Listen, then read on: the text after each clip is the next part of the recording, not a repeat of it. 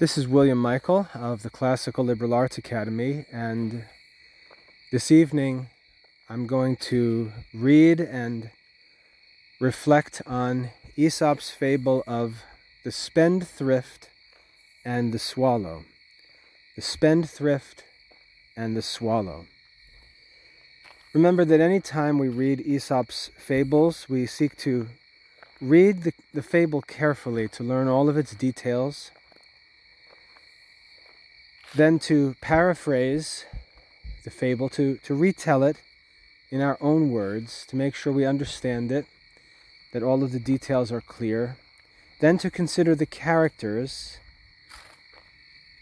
to consider the moral of the fable. What is the moral lesson, or what are the moral lessons that Aesop is teaching us? And then finally, to reflect on how this fable and its moral can be applied to our own lives to help us live wisely and virtuously. So let's read together Aesop's fable of the spendthrift and the swallow. A prodigal young fellow, a prodigal young fellow who had run through all his money and even sold all his outer clothes except his cloak, seeing a swallow skimming over the meadows one fine day in early spring, believed that summer was really come, and so he sold his cloak too. The next morning there happened to be a severe frost and shivering and nearly frozen himself, he found the swallow lying stiff and dead upon the ground. He thereupon upbraided the poor bird as the cause of all his misfortunes. Stupid thing, said he, had you not come before your time, I should not now be so wretched as I am. This is Aesop's fable of the spendthrift and the swallow. So let's consider now the details of this fable. First of all, we learn that there are two characters in this fable. There is a boy, a young man, it says, a young fellow, and there is a bird, a boy and a bird. We're told a little bit about this young man. We're told he is a prodigal. We're told he's a prodigal. And prodigality, prodigality is a vice. It's one of the vices. Prodigality simply means wasting money. Wasting money and the money is normally wasted on pleasures, on physical pleasures. So this young man is a prodigal. He wastes money on his pleasures. He practices this vice of prodigality. We know about prodigality because in the New Testament we read Jesus' parable of the prodigal son who had done the same thing. He took money or received money from his father, and it says he went and wasted all that he had. That's prodigality. And in the, the biblical story, the prodigal son ends up with nothing because he's wasted everything. And it's very common for people to think that they can pursue their pleasures. And this is especially true when there's money to spend. And prodigal people don't think about what will happen when their money runs out.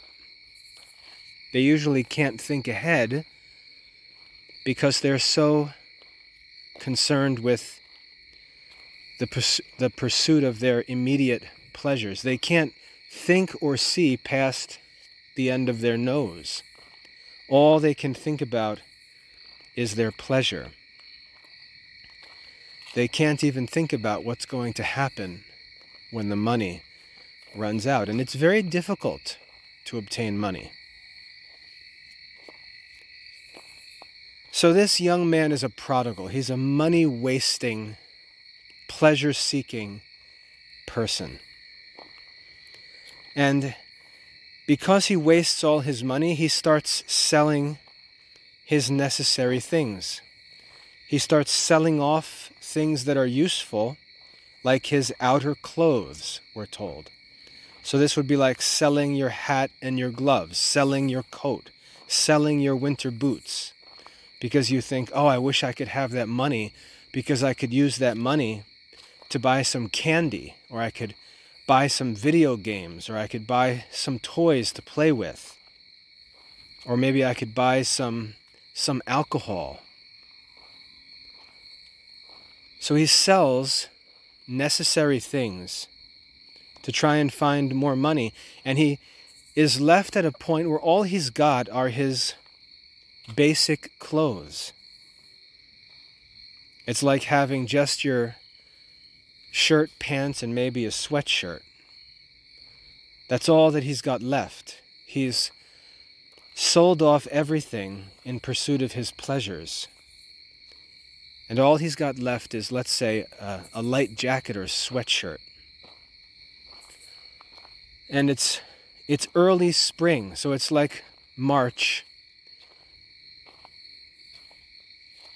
And he's walking about one day and he sees a swallow, which is a small bird. And the sight of the bird suggests to him that it must be springtime. Winter must be over. And so it's like in America, it's like for us to see a robin. When you see robins, normally that means that spring is coming. But this prodigal, seeing this bird as a sign that warm weather is coming, which is true, it's true that the presence of a springtime bird is in fact a sign that spring is coming. But it doesn't mean that cold weather won't rise up again. This is true in, in farming and gardening. It's deceiving because we often think that spring begins, let's say, March 20th. But if you look in your area, you can find this in an almanac or, or on the internet. You can find out when the last frost date is in your area. And you'll be surprised that it's often much later than the beginning of spring. The last frost date is usually sometime in April. And so you can still have freezing weather even in the springtime. This is why farmers and gardeners plant their crops at certain times. They try to get to a point where they're safe past the last freeze date because if the plants sprout and begin to grow and a freeze comes, it can kill an entire crop. So normally farmers wait until the last freeze date has come and then they get going with their planting so everything is safe. But for a foolish person like this prodigal young man, He doesn't think carefully like that. He's not working. He doesn't think like a working person. He is eager to, to take more clothes off because he will sell them for more pleasure. So he's looking for the first sign of warm weather. And as soon as he sees it, he rashly makes the decision to sell his warm clothes so he can obtain more of his pleasures, selling the very last things he possesses. And he takes this gamble that seeing this bird is a sign that no more cold weather will come, and he sells off the last of his warm clothes, his cloak or jacket.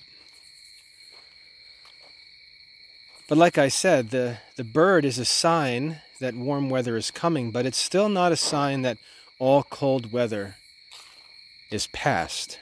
And so, what happens to this foolish prodigal is that a cold spell comes, actually kills this bird, and this boy is stuck with nothing warm to wear because he sold off the last of his warm clothes. And so, what does this boy do? What he should do is blame himself for being so foolish. He should be angry at his sin. He should be angry at his prodigality. He should be angry at himself. And this anger directed at his own sin should be what gets the process of repentance going in his life. He should be angry at his sin and say, I'm never going to waste money again. I'm never going to pursue these pleasures again. This is so foolish what I'm doing. I went and sold all my clothes, knowing that cold weather still could come. How foolish my pleasures, my desire for pleasure has led me to act. I have to get my life in order. I have to get control of myself because this prodigality, this foolishness is going out of control. But he doesn't respond in this way. But he foolishly and irrationally blames the bird and he says, You stupid bird, if you didn't show up, I would never have done this, as if it's the bird's fault. The bird, unlike the boy, is an irrational creature. The bird is simply acting out of its nature. It's just doing what its instincts lead it to do with no reason. And that's why it's easy for the bird to act prematurely and end up getting killed by this cold weather. But the boy, who is who is a rational creature composed of body and soul, made to the image and likeness of God, he has no excuse for why he's living like an irrational bird. And yet, this foolish selfish, prodigal young man will pretend that the bird is to blame. The bird made him do it. The bird made him sell all his clothes. In his, in his foolish mind, it's the bird's fault. And so we see here how the mind of a sinner works.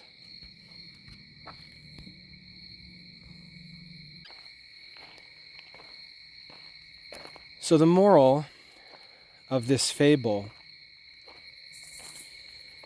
the moral, of, and we can think of several morals for this fable. First of all, we're warned to not be wasteful, not to be prodigal. We're warned not to indulge the desires of our flesh. We're also warned not to try to blame others irrationally for our own sins and choices. So there's a number of good moral lessons that can be drawn from this fable. I think we should choose two of them. First, we can quote a passage of the New Testament from St. Paul in Romans Make no provision for the flesh with its lusts. Make no provision for the flesh with its lusts. After all, pleasure is the source of prodigality. Make no provision for the flesh. Learn to live a temperate life with self control, and you won't be tempted to prodigality. And the second key moral is to take responsibility for our own sins and do penance. Take responsibility for our own sins. So, how does this fable help us in our lives? Well, obviously, there are many helpful lessons to be gained from this fable.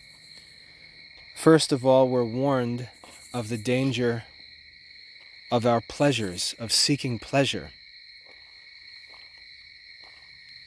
Seeking pleasure isn't innocent because pleasures pleasures cost money. They cost us money, they cost us time, and there are better things that we could do with that money and time. We could use money we have to invest to do business.